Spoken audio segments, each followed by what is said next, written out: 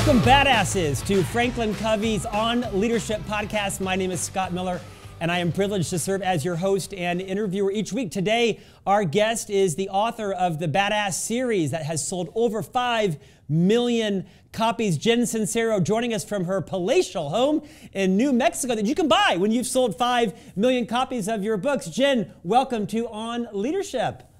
Thank you so much for having me.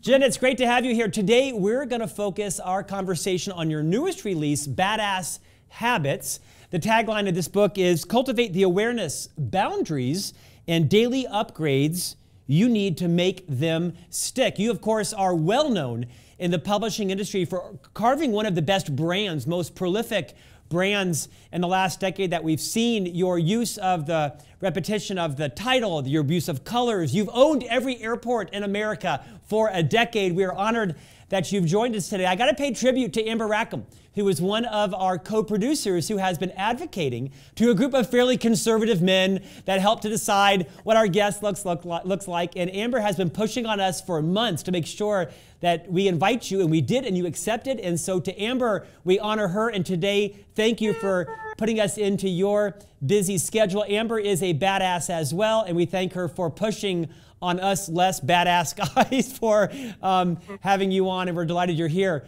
Before we get into the topic of uh, today's book, talk a bit about how you envisioned this series. What was your original idea? Did you ever think it would become what it has? And what, what are you delighted most about that it's accomplished?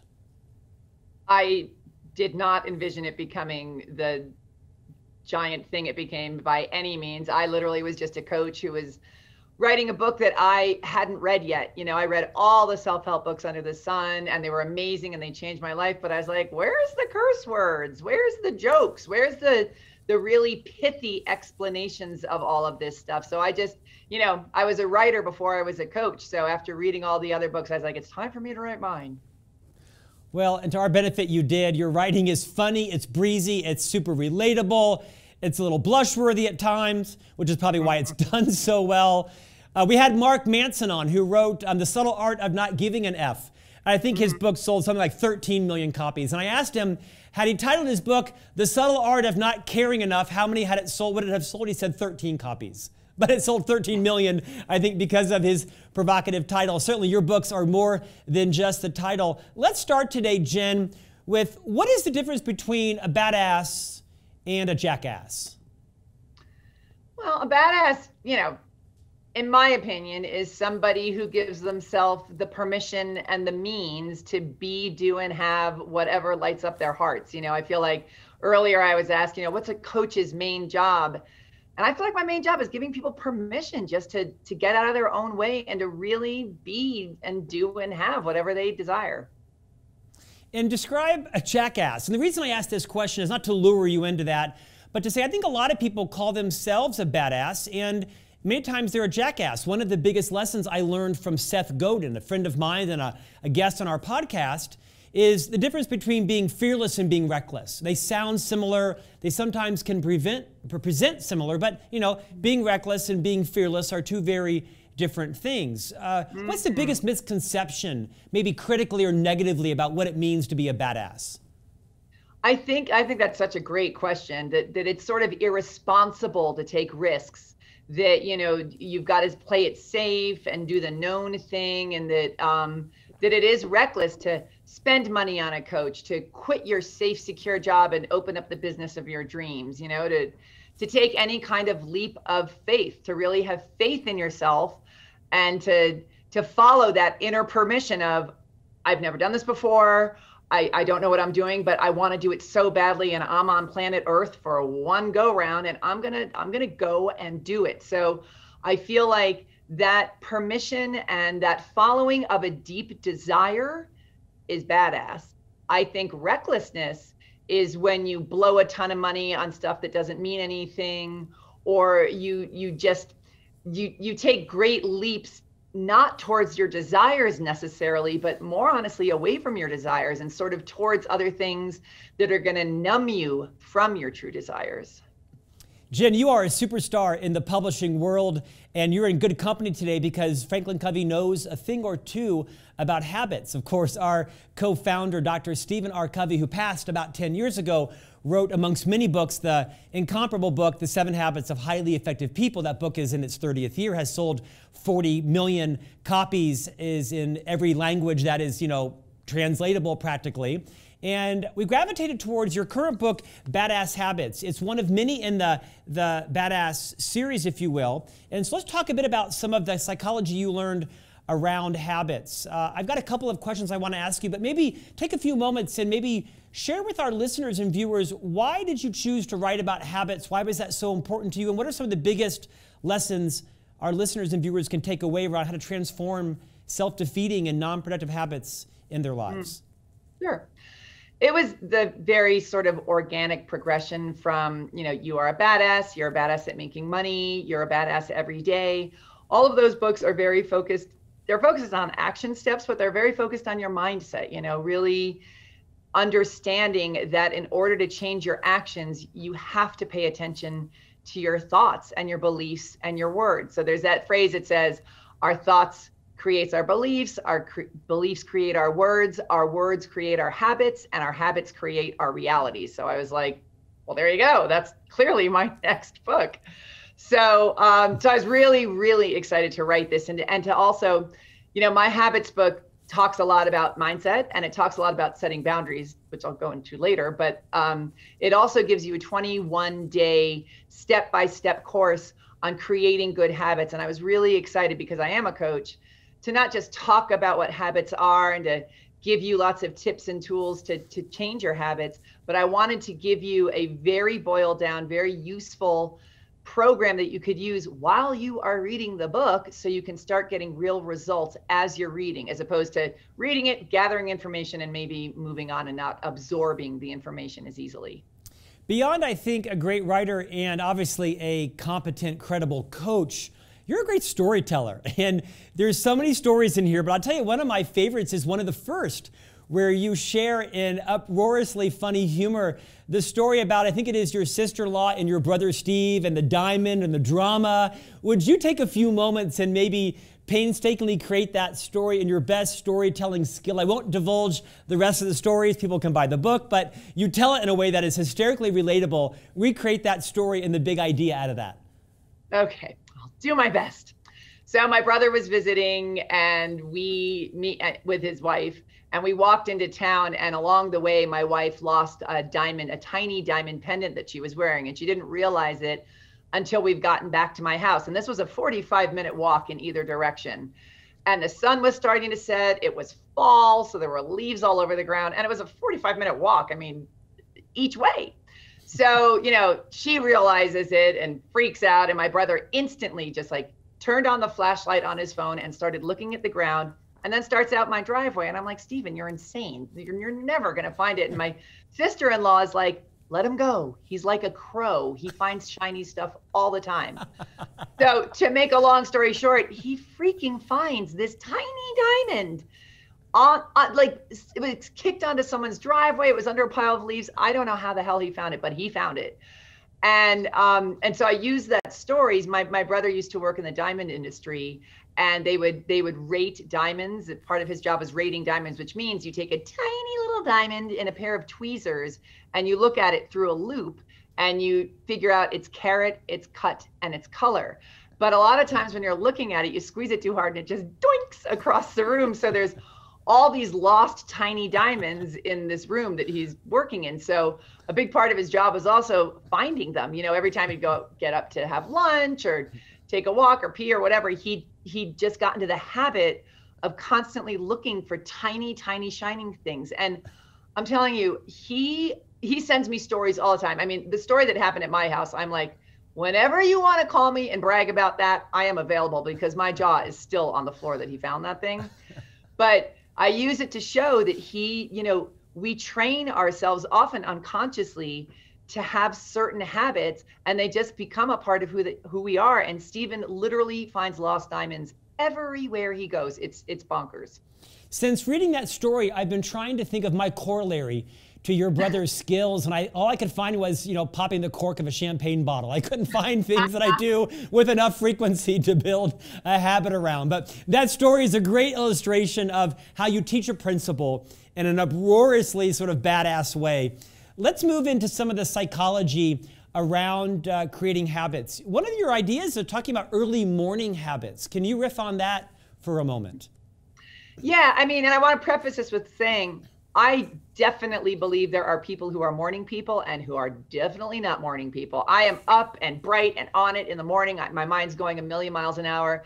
And my sister literally has to be dragged out of bed and like poured coffee in her mouth before she can even form a sentence. So I'm going to say this this really it depends on who you are. So really let yourself be who you are. But one of the things I love about early morning habits is you haven't let the day come in and and you know cover you with its many millions of distractions. So first thing in the morning like you you you're just you're just not you're not victim to so many things that are coming at you. So I I, I love it. I think my mind is certainly sharpest in the morning. Um, and I really do think it's about sharpness and lack of daily distractions that is, is the reason early morning habits are so great.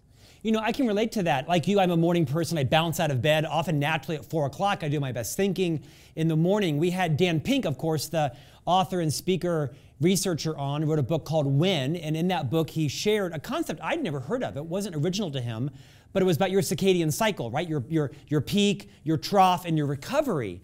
And it was a profound insight for me because I realized that my peak is about 4 a.m. to 10 a.m. It's when I can institute habits that are more natural for me. I learned that from you. I tend to trough around 11 to 1. I rebound, recover from around 1 to 5, and then I have three sons and my wife, and my, my life is lost after 5 p.m. in the yeah. evenings.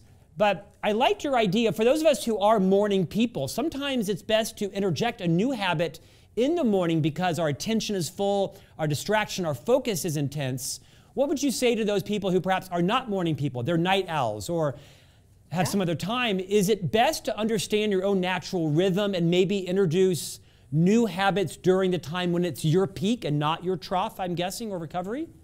Absolutely. And I and I, I feel this way in general. You know, there's a lot of talk about having a balanced lifestyle. And even that I think is so open to to who you really are and working with who you are and not being in shame about the fact that you're a procrastinator or whatever. Like so for example my balance when i'm writing a book i don't i don't write anything until i absolutely have to and then i bang out my books in about a month's time. And then i go on a vacation and i go backpacking for a month and i don't use my phone and i don't do a damn thing. So to the you know to a lot of people that's an out of balance life. But to me that is perfect balance because i focus really well under pressure. I i just I, I get more excited when i'm really really focused on a project and then i love doing nothing. So that works well for me and for a long time i was in a lot of shame about being a procrastinator and you know pushing myself too hard. But you know this is my sixth book i think and i've done them all this way and now i just i just know how it goes. So i I carve out that time for working and I plan my vacation afterwards. So Okay, think- hold on, hold on, hold on. I ah. feel like you're giving permission for people to be themselves right now. I know. How disgusting. It's a radical idea.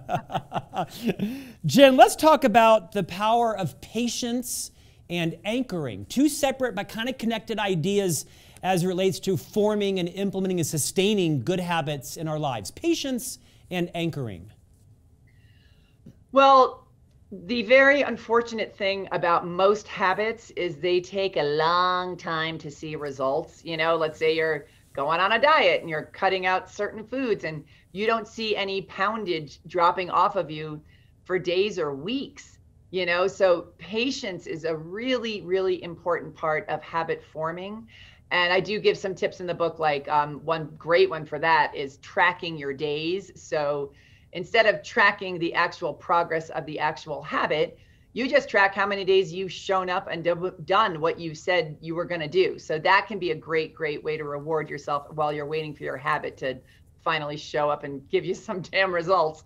Um, and anchoring it in is really about repetition. Habits are so much, you know, people are always like, how long does it take to form a new habit? And it really depends, you know, on what it is and who you are and what the circumstances are. I mean, I, I, I it took I tried to start flossing my teeth for decades, and after one terrifying conversation with a dental hygienist, I now floss my teeth every single morning without fail. So it really depends on what's going on, but in general, habits are really all about repetition, especially habits that are changing an old behavior. Because if you think about it, old behaviors are just beliefs and thoughts and actions that create a groove in your in your mind.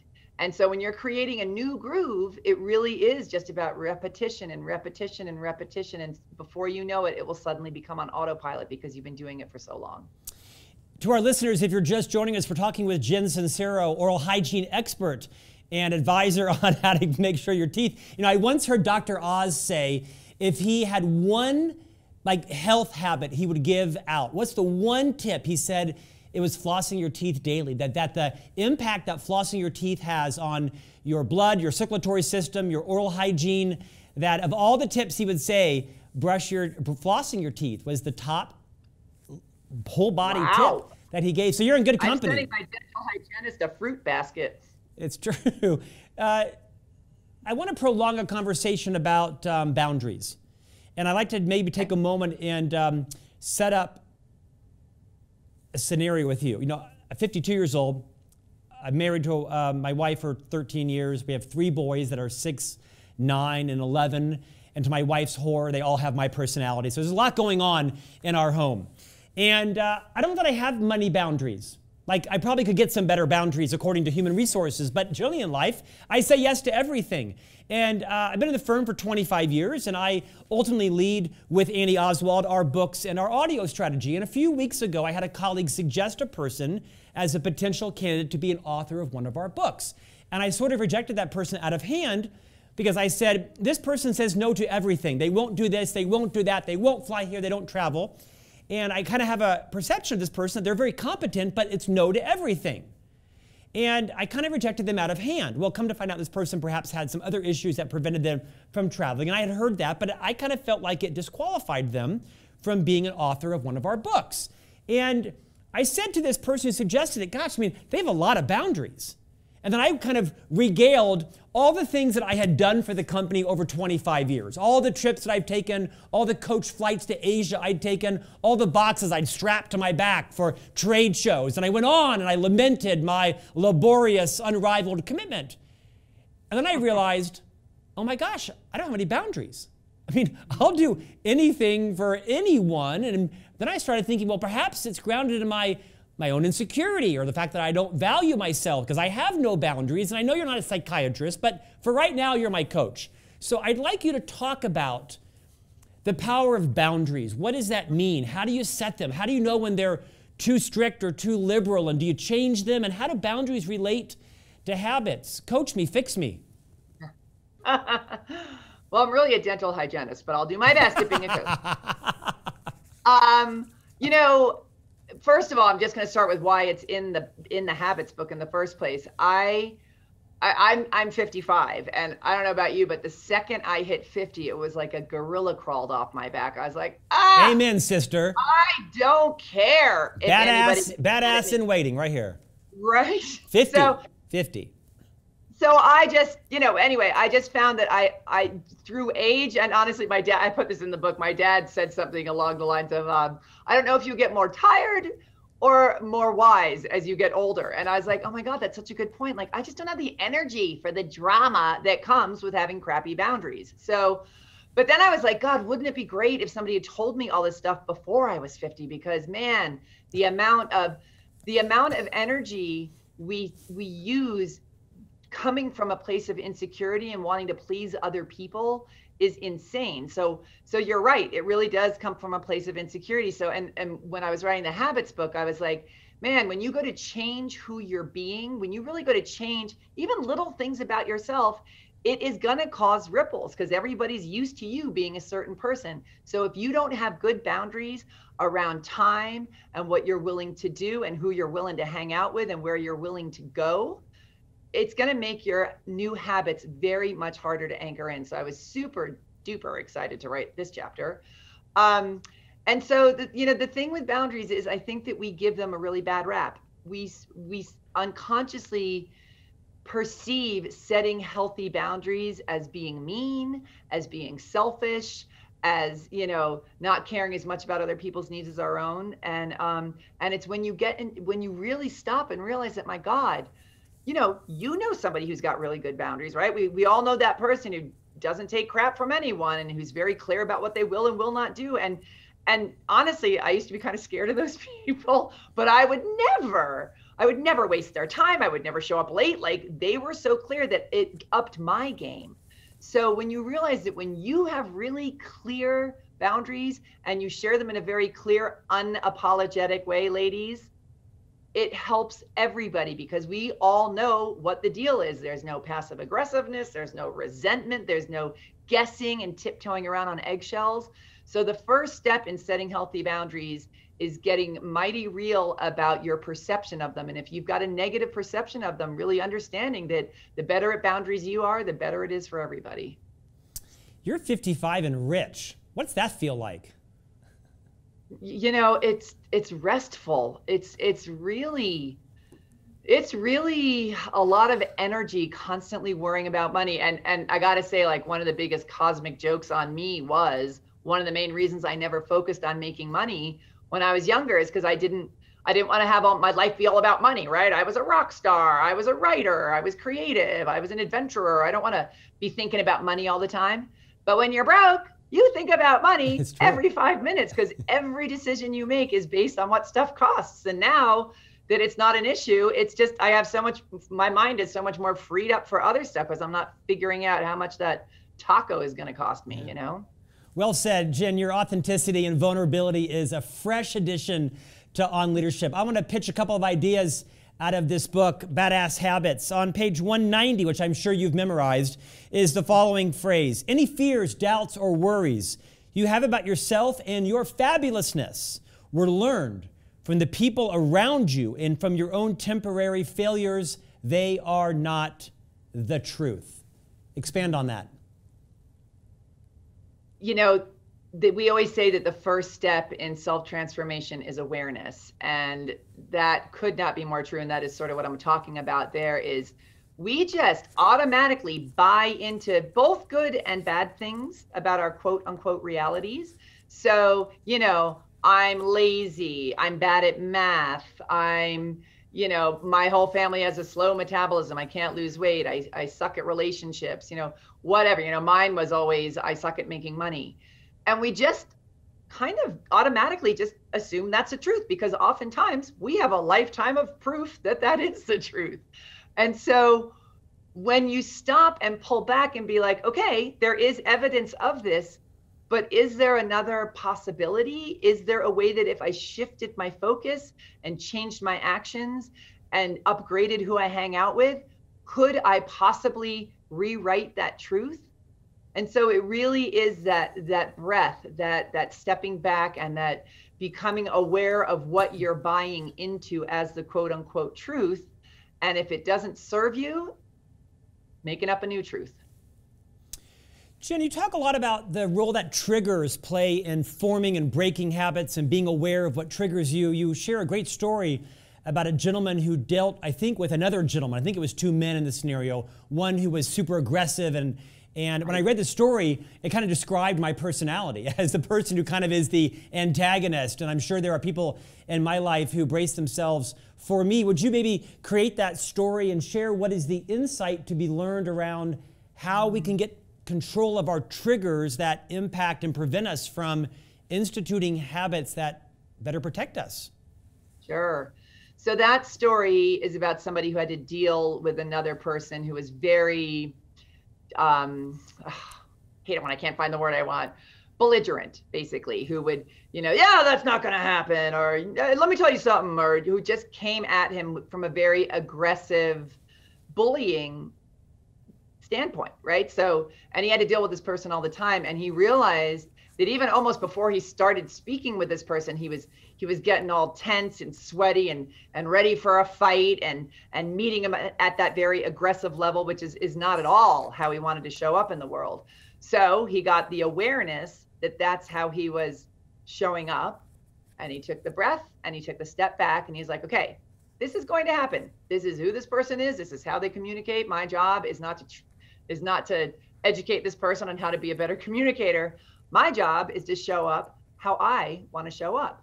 So it was in that in that pause and in that that awareness of the situation that he was able to change his habit of, you know, getting in the fight and getting all tense and instead getting into the habit of breathing into it and relaxing and letting this person do whatever d- drama dance bullying dance they were going to do and just letting them finish what they were going to say and not being a doormat but also not changing his own behavior to match that un unsavory behavior of the other person but instead just stating clearly what he needed and what he needed to express and changing his habit of really letting the other person inform the direction of the conversation and instead taking his own power back and being who he wanted to be.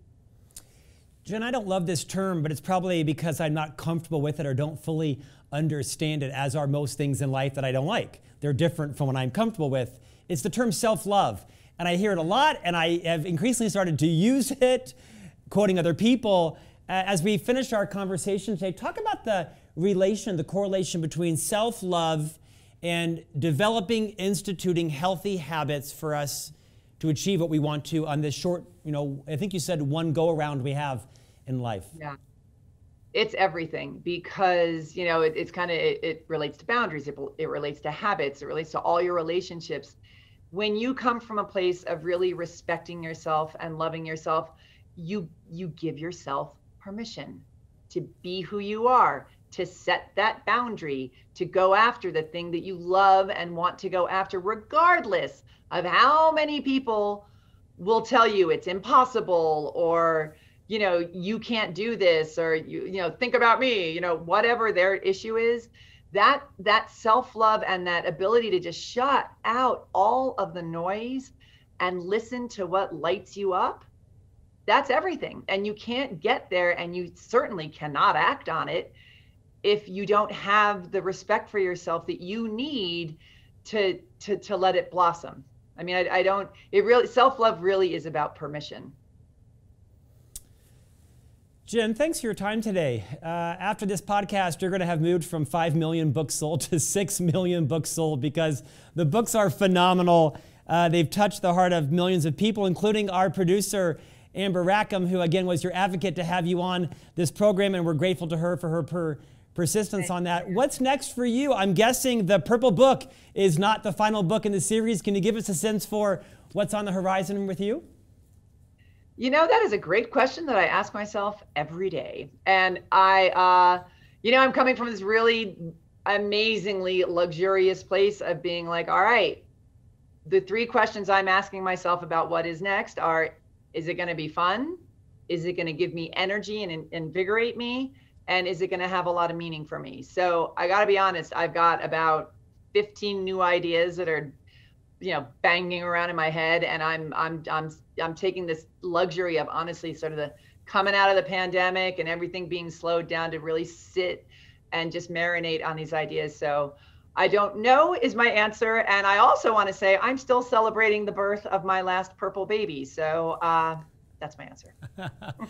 Jen, if someone's got a habit that they've been trying to conquer, institute, break, solve, begin, end, what's something you would send our listeners and viewers off to say if they've got a habit that they know they want to address, begin or mm-hmm. finish, break or start? What's a good motivator for everybody who's ending this podcast right now to say, first, go do this?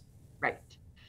First, look at your thoughts, beliefs, and words around the habit itself, and especially around your ability and the permission you've given yourself to change this habit. Because I think the main reason that New Year's Eve, you know, New Year's resolutions don't stick and that, you know, we repeatedly try and fail to, to anchor in the same habits over and over is that we focus on taking action, which is extremely important, but we don't do any of the work around what we think and believe about it, who we're hanging out with, where we're putting ourselves and and our identities around this habit you know if you if you identify identify as somebody who's trying to quit smoking for example as opposed to somebody who is healthy and takes great care of their body you're constantly still going to be attached to that idea of being an ex-smoker. So it sounds really small, but what what this change in identity will do is, you know, I don't negotiate about drinking a bottle of vodka for breakfast because that's not who I am. Because I that's not how I identify. So the identity will keep you from the negotiation process, mm. which is the crack in the fortress of your willpower to keep going with this habit. So really think about identity. I write a lot about this in Badass Habits, but I would say that is the key to sticking with habits is your identity. Jen, how'd you get so smart? Where did you start? You mentioned you were you were an artist and you started coaching the early part of your professional career. How did it end up here, right? I'm sure there was serendipity and probably a lot of hard work and dedication, but your biggest life lessons are from who, from what? from screwing up over and over again. Yeah. and you know, I mean, I, I, I, luckily I was always able. You know, I was in, in bands a lot. I worked in the record industry. I, I had a lot of fun. I just never had any money. So for me, it was through my own trial and error and and my really incredible determination, which I still am kind of like, where the hell did that come from? But I was really, really determined to get a handle on my financial situation. So I did everything I could think of, everything that scared the crap out of me. And I learned from all these amazing self help books that I was talking about at the beginning. I hired incredible coaches. I went to every seminar I could find my hands on. I mean, I just, I did, I did the work. I really rolled up my sleeves and learned a lot through taking action. So.